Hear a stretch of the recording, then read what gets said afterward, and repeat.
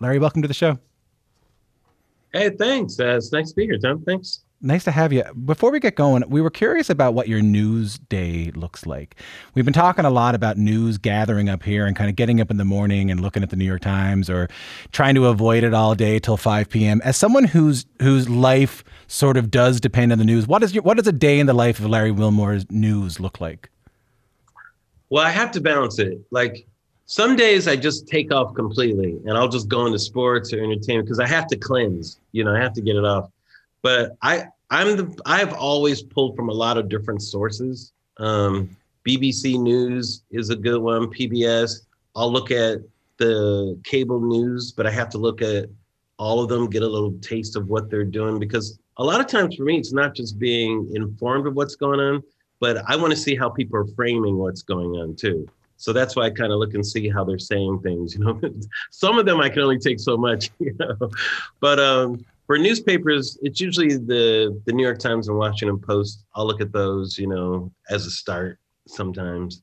You know, there's two things there that I find interesting. One is it reminds me of what President Obama said, something about if you if you only listen to NPR and you only watch Fox News, you right. are living in two different Americas. Like you are having two completely separate right. realities. Is that your is that your experience when you go through all sort of the cable Absolutely. channels? Completely. It, which is why I like BBC too, because this is somebody looking at us, you know, reporting on it, you know, which I find interesting. But I have, and I've always been interested in that. Um, like I watch Fox News. I, like Bret Baier is a show that I tape all the time. I always want to see how it's being presented, you know. Um, and uh, I still watch network news. You know, I I still want to see how the news is being uh, presented in that way too you know? So i guess some of it i don't know it's it's a weird answer because i kind of watch it from an anthropological standpoint. And i know you're like jane goodall yeah. Yes because people say how can you watch that? I go i'm kind of observing it maybe more than watching it i guess you know?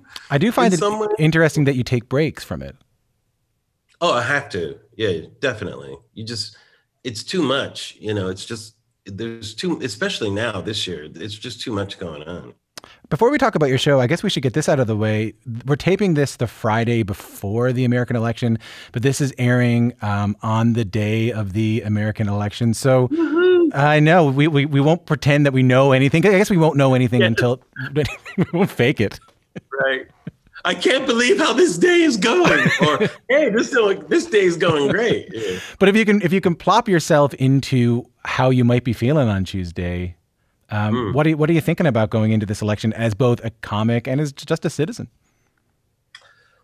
Uh, it's a good question. I mean, Tuesday is just going to be an anxiety-ridden day because I don't know if we'll get any results on Tuesday. The way everybody's been predicting it, some people think we may not know for a month or into the week. Who knows? So I'm more anxious about not knowing what the result's going to be rather than what the result is going to be, I guess. Um, so Tuesday's just going to be an anxiety ridden day, or while people are listening to this, today is an anxiety ridden day.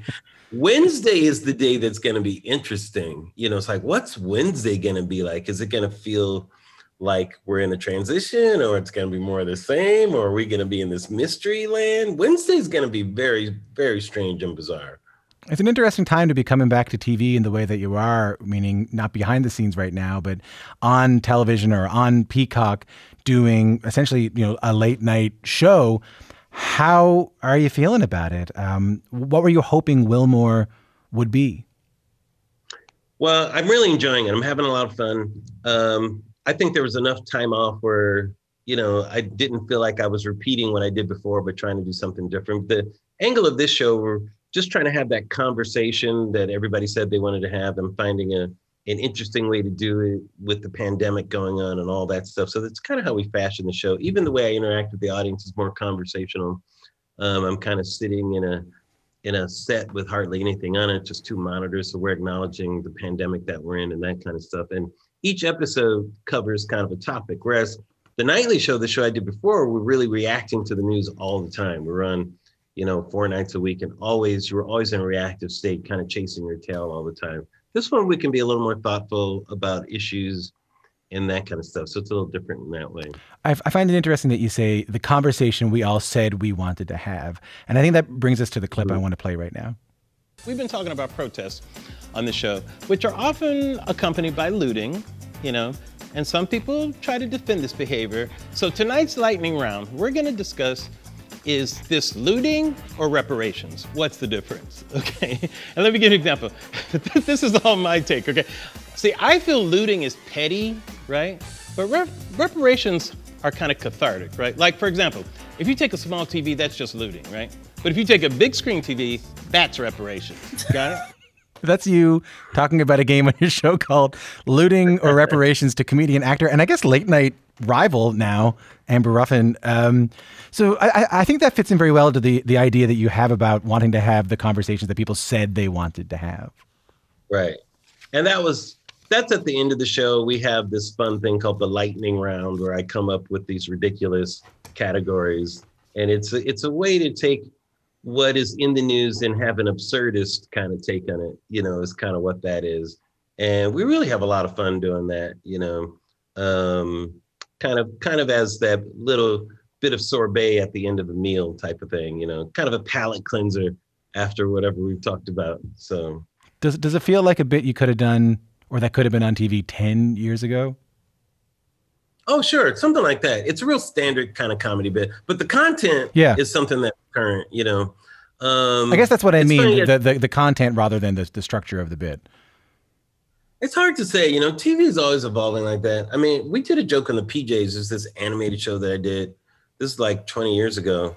And uh, it was in the projects and Eddie Murphy was the voice, you know, and the kids, the kids on the show found this um, old Richard Pryor album from before, and it was the actual album was called That Was Crazy. That was the name of the album. And the kids say, Hey, Super, can we play this? He goes, Play it. You can't even say it anymore, you know? and we said that back then. And he's we couldn't even do that joke about that about not being able to say it right now, which is kind of interesting. So sometimes things change in that way, and sometimes, you know, they don't. But you know, it's always been difficult to cover you know certain subjects in comedy you know that's always been the tough thing but you know i'm the crazy one so i always try to do it. What have you figured out about that? Like what have you figured out about how to how to take on complex and important things uh, without without i guess without dismantling it without without rejecting its importance while still being able to joke around about it? Well i don't know if i agree with that part of it because that's kind of what I do is I kind of deconstruct it and dismantle, I guess maybe the power that it may have over us sometimes by looking at it in a different way. How, do you, you mean? Know? Well, you know, if we're talking about oppression in some way, you know, I want to deconstruct that and look at it in a different way. So it doesn't have to be something that's going to be weighing me down or preventing me from doing something. I can look at it a different way and and be satirical or absurdist about it, you know, or have a different opinion about something, maybe where the herd is thinking about something in a different way. And I'm like, no, I, I'm allowed to think about it in this way and attacking things like that, you know. So I think part of the goal of comedy is to dismantle, you know, not to be respectful. I like I disagree with that. It's like respectful is for actual journalists, not, not fake ones like me. You know? We're supposed to be disrespectful, you know. It, it feels like you. It feels like you've you've figured out a way into that over the years of, I guess, of having to do it. Yeah, I, it's kind of how my brain works, though, more than anything, more than figuring out. Yeah. Um, and that's why I say it's just it's kind of how I do. Like people say, Larry, how did you get into comedy? And I go, I'll be honest with you, I'm in showbiz so I could get comedy out of me. You know, it's not something I got into. If I if I worked in a bank, I'd be making the same inappropriate jokes. I'd just get fired all the time. You know, so so luckily there's this thing called showbiz that my crazy brain can can look at these things, you know, and put them in front of people in a certain way. So it's really the way that I view the world in a deconstructive way, you know. What like you- if everybody's doing something, I get suspicious of it. So it's almost irrelevant what that thing is. I'm going to be suspicious as if everybody agrees on something. It's it, like, well, I don't know. This, this sounds a little suspicious to me that everybody's agreeing on this, you know? Yeah, of course. If, if everybody's sharing the exact same tweet, if everybody's doing the exact right. same thing, you're going to go, well, hold on now, you know? There's something suspicious about I'm not saying that they're wrong. Mm-hmm. I'm saying there's something suspicious. What do you think makes a great late night talk show? Oh God, I mean, who knows? I mean, I mean, I'm on the other side of it, not the critiquing side of it. So, you know, when you have to, you have to love what you're doing, and you know, you obviously have to be good at it. You know, the classic ones are the people who just stand out as great hosts or doing something different. Like, you know, those the early David Letterman show. There's still nothing quite like that. You know, Letterman was so different. He came on, you know, just really being himself and not trying to copy anybody else. You know. Um, Carson's kind of that standard bearer of just really letting other people be the stars, and it kind of made him the star, you know. And those are things that you know, it's kind of who those people are. But other than that, it's kind of like people's taste and what they like. I think. Do you think that the the goals of the show or what makes the show successful have changed now that people are trying to watch them more the next day on YouTube rather than staying up till 11:30, 12 o'clock? Yeah, the way people consume this stuff is definitely different. You know, we're a streaming show, so we don't really air at a time. The show is just available, and that's a whole new world too. You know, um, but yeah, people used to have an appointment with it. You know, the joke was they would go to bed with Johnny Carson. That was back in the day. But yeah, someone may watch a show on a Sunday afternoon. You know, kind of treat it like a podcast now. You know, they watch it when they want to, or it follows them where they go, or that type of thing. So there definitely is a different relationship that you have uh, with the new technology um, and it kind of affects like for us it kind of affects how we actually write the show. Like our show is on once a week. We can't compete with the topical people who are on every night. So our show is what i call current. You know we try to present something that's more current than hot topical you know if you're just tuning in, my guest is Larry Wilmore. We're talking about his show, Wilmore, and we're talking a little bit about his experience in, in television. And I, I, would like to talk a little bit more broadly now. I mean, people know you from The Nightly Show and people know you from this new show, Wilmore. But as I mentioned in the introduction, you're quite prolific in the world of TV, whether it's writing and producing credits in shows like In Living Color and Sister Sister and The Office and The Bernie Mac Show, The Fresh Prince, The Jamie Foxx Show. I feel like every show I mentioned has incredible staying power. Like every show I just mentioned, which was a bit of a laundry list, has. In The Office. Yeah, and The Office I, I mentioned in there too. What do you think? Why do you think that is? Why do you think each of those shows might have such um, staying power? I don't know. I just I'm pretty fortunate. You know, I've worked on shows that, you know, who could guess that? I I have no idea why that happened. You know, it's just kind of the way my career kind of tumbled and stumbled out, you know, because um, it doesn't happen with everything. I mean, there are things that I did that aren't on that list, you know, that didn't either quite make it or or have lasting power, you know, or kind of fell short. But those are some of the things I've been lucky to have a lot of things that did though. So very fortunate in that sense. What made you love TV in, in the first place? What made you want to work in TV in the first place? Oh, I was a TV kid growing up. I had the TV guide memorized when I was a kid. I knew every show that was on and every time and every channel. Um, just knew everything about it. I loved comedy. Always wanted to do it. Never thought that I could. And you know, honestly, I never thought of TV as a destination. It was more comedy. You know, I wanted to make people laugh and that kind of thing. I just didn't know if it was possible to do it. And I started my career as both an actor and a stand-up comic. I was doing trying to do both of those things. And acting is tough. You know, you're you're at the behest of somebody else because you have to audition all the time and hopefully you fit in. But stand up was fun because you just wrote an act and went up and made people laugh and you could get bookings. So I found um, a lot of uh, way to be in the business through stand up. And many times people use their stand up career to get a TV show and that kind of thing. So but I really saw the act of making people laugh as the thing more than the destination of television, if that makes sense. I mean, I love television, but I never imagined that one day I'll be a television star. Like I never saw it like that. You weren't you, weren't hoping to get a job writing for the Dick Van Dyke Show or something like that. You just wanted to work in. Never comedy. imagined that that was even a possibility. You know, um, I had a friend early on in school who I went to high school with, and he at a very young age kind of broke into the business as a writer and that opened my eyes as to that could be a possibility of doing something. It was because somebody who i knew had actually done it you know? And uh, being lucky enough to know some people who kind of broke through uh, i knew forest whitaker in college um, what was forest whitaker like in college? Um, we didn't go to the same school, but we did this like summer thing. We traveled around doing like this weird show, and I met him in it, and uh, I got to know him. And he was really cool, kind of quiet, very talented though, you know.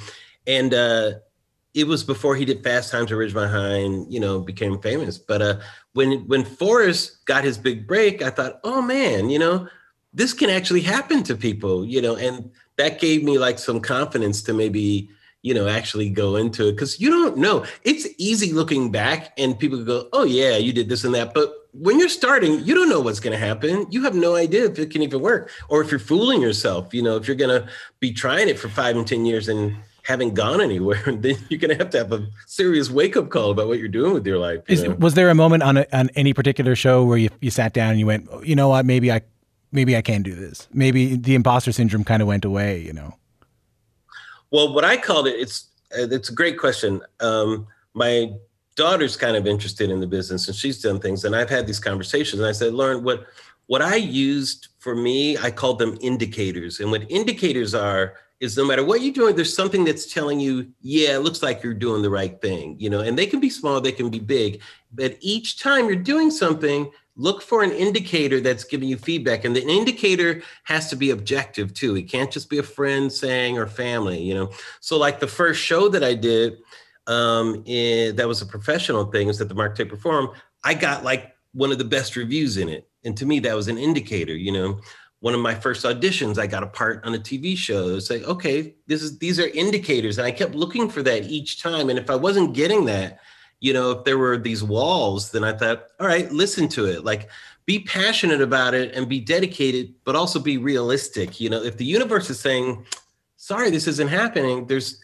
for me, I always set a period of time that I would have to listen to that, you know. But it kept saying, "Yeah, this seems like you're doing the right thing," so I kept going. it's it's a it's a profound point because it, it means to pay attention to the small things. It's easy to say like, well, if you win an Emmy, you're going to do well in TV, and you can start to ignore just a little comment, just a little note. You know what I mean? I mean, that's so down the line. Of course, yeah. I mean, once you get to that point, you pass all the indicators, you know but but there are little ones that can give you confidence that don't necessarily seem big you know? But it tells you you're doing the right thing you know? Um, that it's just paying attention and being realistic and honest with yourself is the other thing because being honest with yourself tells you that you maybe you have to work harder at it. Like you may have the potential but you're not working hard enough you know, and that's paying attention to that objective reality too, you know. On the flip side of that, how do you then rationalize or deal with when you don't get the green light? You know, you get you get the red light, you get yeah. the, the other kind of indicator that says stop, you know. And by the way, that's happened to me in different ways and that's when I've shifted. So for me, it happened kind of from a cultural standpoint.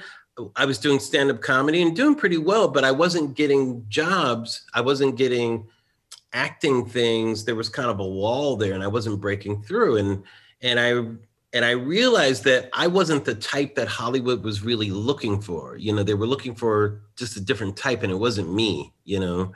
And i thought if i'm going to make it i'm going to have to take control of this. And so that was an that was a negative indicator that said you know this isn't this isn't working for you from just being a performer. And that's when i decided to be a writer and producer. And i thought if i carve out my own path i can have control over that and i can define who i am and then hollywood will come. And that's exactly what happened. Years later my type is more accepted. You know i do political comedy do absurdist stuff. But back then if you were a black comic if you weren't doing like def comedy jam type of humor hollywood was like well you're black. Why are you trying to be smart? That doesn't make sense you know it's like, well, why can't I be smart and give you a thoughtful take on something? Yeah. But in the comedy clubs, they yeah. liked it. You know, when you're doing a live show, that stuff works. But Hollywood's like, mm, you got to be from the ghetto for us to put you on TV. You know, when did that change?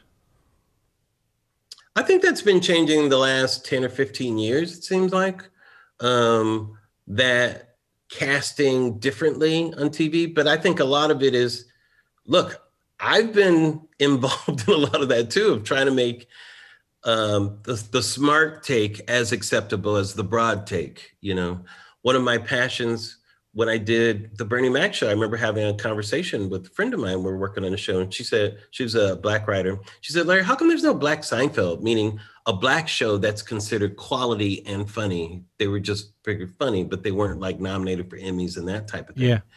And, mm-hmm. and I and I said, Janine, because you haven't written it yet. And then I was like, wait a second, I haven't written it yet either, you know. And I wanted to really make it my really kind of my passion to have us regarded in both lights, that we could be accepted on this entertainment level, but it was respected, accepted and respected. And with winning the Emmy for the Bernie Mac pilot was huge for me. You know, it was it was that signal that we can have it on both levels that black people aren't just tap dancing you know making people happy you know that it's quality entertainment too you can't just dismiss us and, and, and it must have felt so validating given the doors you had closed and why doors were closed on you as a exactly. performer but you're absolutely right. I used negative indicators as powerfully as I did positive ones. And there were a lot of negative ones that, you know, made me shift and and really focus me and probably were more important to my career than the positive ones, to be honest with you.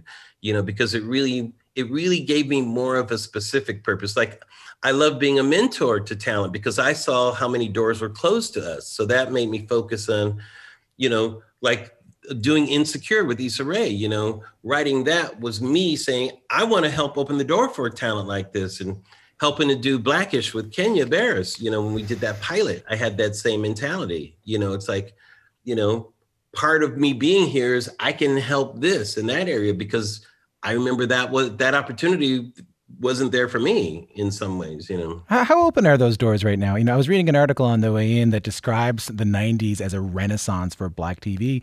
And to be honest, a lot of the shows I mentioned on the way in, you look at like Sister Sister, you, you, you look at, you know, The Fresh Prince of Bel Air, these were shows that came out in the 90s. The, the, article was specifically talking about the WB in the 90s being this renaissance for black television. I, I guess how are things now with regards to net, networks um, opening doors to well, greenlighting black TV? It, it was, but it goes in cycles. It went away by the end of the 90s. Um, uh, TV became a little segregated then. I, I talked about this at the time. I talked about it contemporaneously. I was like, what is this ethnic cleansing that's going on in television? You know, um, you just saw shows getting and, canceled. Well, yeah. I mean, when I did the Bernie Mac show, there were no black family sitcoms on television at all. None. You know, we were the only black sitcom to be on the air at the time. The only other one that came on, I think, either right before or right around the time was Damon Wayans and My Wife and Kids. That was it. There was no other representation, let alone people running the shows. If you talk about behind the scenes, there were no black showrunners. There was nobody doing what I was doing in comedy at that time. 10 years earlier, there were different, there were some people doing it, you know. And so it kind of, there was this renaissance that did happen, but then it kind of slowly faded, you know. Um, and I was very concerned about that as as well too. And it took some years for that to build back up again with Shonda having Grey's on for so long mm. and doing Scandal and that type of thing. Shonda opened the door for a lot of people. Um, and uh, now we're in a place where it's kind of flourishing again the way it was, as you pointed out in the early 90s. But believe me, it went through a thin period and and I was very much aware of that. When you go through a thin period like that, does it make it harder to kind of relish in the moment right now because you know, oh, it was it once felt it once also felt good and it's gone it can go away. Once again, who's the one that's suspicious about things? Are you? well, I take things with a grain of salt. I think it's why you have to keep working to do things. And it's for me it's not even just a black white thing, you know. I I've always been involved in trying to just work with all kinds of voices. You know, I worked with the talented writer Jessica Gao last year in a pilot about her uh, her Chinese American family, and it was so much fun. You know, to do that. You know, I'm working with a a native uh, writer right now uh, who's very talented. You know, doing a show, and you know, I think people um, hearing from different voices just makes television better and it makes it harder to go back to that monolith that we had before. It's going to be almost impossible the variety of voices that we get because the audience is going to be too discerning. They're not going to want that, you know. I appreciate your perspective on that. I, I want to talk just briefly because I don't I don't want to take up too much of your time. I want to talk briefly about the White House Correspondents' Dinner, which you you did towards the end of uh, President Barack Obama's term. What's something about that night? What's something about that gig that we wouldn't know from watching it on TV? um, it's very surreal. Um, one of the things was I sat and had dinner basically right next to the first lady. And it didn't dawn on me ahead of time that that would be the case. And I just really, it was extraordinary. It was almost like an out of body experience. And we're just talking about our kids and just shooting really. And I'm like, I'm shooting the first lady. And I almost couldn't even think about the other thing, you know, for a while. And it was, it was very surreal being there, being that close to, to power like that and being in that room. The gig itself is very out of body. If you're a performer, you can relate to it where you're doing an act and there's this thing going on and you know it's not going well in the room and you just be like whatever and you just plow through it and you know yeah i know that one i know that one for oh, sure but for me it's like you know it's a it's a it's 50 drunks that don't care about me you know not rush limbaugh no, exactly. you know that that's what it feels like you know and because as a comic I've been in that situation thousands of times. It didn't bug me. I'm like, whatever. I'm just gonna do these jokes. I don't care what you think, because that's the mode you go into, you know. Um, and you try to stay connected or whatever, you know. So that part to me was more common than the other part, you know. Like that didn't feel as a comedian, we're used to, you know, bombing or whatever it is, you know, in front of an audience. But I had no idea how people were experiencing in the real world. I got so many texts for people who were watching it had a different experience than the people in the room because there was that just that weird feeling in the room. But the people at home were like, "Oh my God, I can't believe Larry Wilmore said that stuff," you know. And it was so nice to hear from from those people and that it got through there, you know. Can you hear, like, if you're on stage and you're telling a joke, you're so close to the president, are you are you listening yeah. for his laugh? Yeah, and that was disconcerting because I didn't factor that in when I was thinking about doing it. And I heard him groan on the thing. I slammed him about drones or something like that. You know, and I heard him go. oh, sorry, that's just a funny know, sentence. I, yeah, I, exactly. I slammed him about drones or something like that. Exactly. I'm not the one that that sent the drones. That was my philosophy, you know. and that's what I mean about power. I don't care if everybody's kissing you. You're the president. I'm supposed to deconstruct this, you know. Yeah, yeah. And so that was my point of view on it. It's like I love you, Obama, but I'm still going to slam you. You're the president. Yeah. You know. So uh, I heard him go ooh, and then suddenly I was like, oh. the president didn't like that, and and I immediately said, "What? Am I wrong? What? You know?" So I kind of did that comedy defensive thing, but inside I was like, "Oh, he didn't like that." You know. um, as a person, I was very concerned. As a comic, I was like, "Oh, Come on, I'm just making jokes. Sorry, I don't know if I can test it. Ah, it's Canadian radio. It's okay. No, no, one will hear it. Um, the uh, uh, are you hopeful to come back? Are you hopeful that? I mean, it's still going. I want to. I want to point out that the White House Correspondents' Dinner has been still going. I know Hasan Minhaj did it. I know they had a presidential historian whose name eludes me, but you know the president's not there. He doesn't do stand up himself ever since Trump became president. Are you hopeful it might come back? Um, I don't know. I, I really don't have feelings towards it. I think the purpose of it was um, really a fundraiser for journalists and that kind of thing. And I thought that was always a good thing, you know. Um, they give out awards and things like that. And then the comedy part of it was just the, you know, just the entertainment thing. Um, I mean, yeah, I guess if Biden is president, I'm sure he'll probably revive it i'm sure but it'll it'll be interesting to see what form it takes you know but trump is so humorless you know he's got no sense of humor. He's the thinnest skinned person to ever be president. It's amazing how how thin skinned he is. It's just shocking. I've never seen him really laugh you know um so and his he doesn't have self-deprecating humor. He has self-adulating humor you know if he's making fun of himself, it's to praise himself, not to knock himself down. Why don't you think people laugh at that dinner? Like when you said like the room is weird, what does it say that the room of Washington journalists and politicos they can't, can't laugh? They can't take jokes. I was I was roasting them because I thought it was a roast. That's what I thought, you know, and they just were not having it, you know. And so it's really as simple as that. They just were not having it. Um, Don Lemon, to his credit, kind of flipped me off during it, and afterwards was like hugging me. That was great. That was great. You know that thing. And I'm like, thanks, Don. But I think Wolf Blitzer, you know, really didn't like it. I was banned from CNN for a while. Really? You know, because I think that I'm like, whatever, CNN, get over yourself. You know. Um, I'll tell you who was real nice to me was like Fox News. Like I saw Megyn Kelly and and um, uh, someone else after, and they couldn't have been nicer, you know, because uh, they're used to getting made fun of all the time. You know? Wolf was going, "Wait, me? No, not me. I don't get made fun of. I'm Wolf yeah. Blitzer." Yes, you know, thank you for not being as harsh as most people are, Larry. You know, that type of thing. You know, Larry, it's lovely uh, to talk to you. What, what, what are you What are you looking at tonight? I mean, we talked a little bit about how we're not going to know anything for a little while. Tonight being quote unquote election night, even though we're taping this before, but tonight pretending right. it's election night. What are you keeping your eye on? Uh, I'm looking at Florida. If Florida goes to Biden, election's over. If it goes to Trump, it could be a long week. Well, we'll you keep. Know, that's M- Margaret Atwood described it as Canadians have their nose pressed up against the glass. Yes, there you go.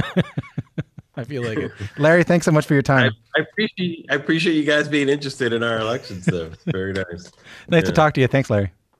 Nice talking to you too. Thank you.